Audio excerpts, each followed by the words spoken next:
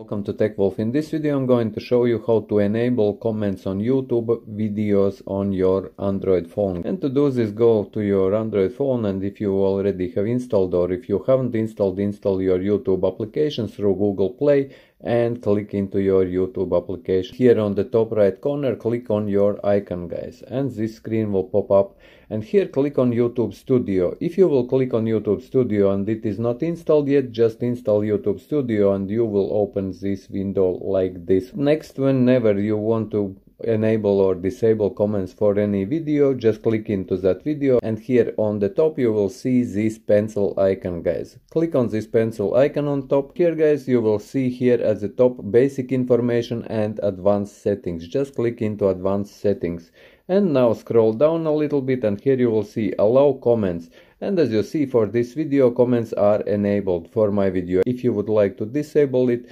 just click on this tab and it will be disabled. Or if you want to enable it will be enabled but one thing guys if youtube for example has detected you that you have a child content on this particular video or something like that it will not allow you to enable your comments. So yes guys i hope that you found this video useful. If you did leave a like share this video subscribe to my channel if you're new and see you in the next one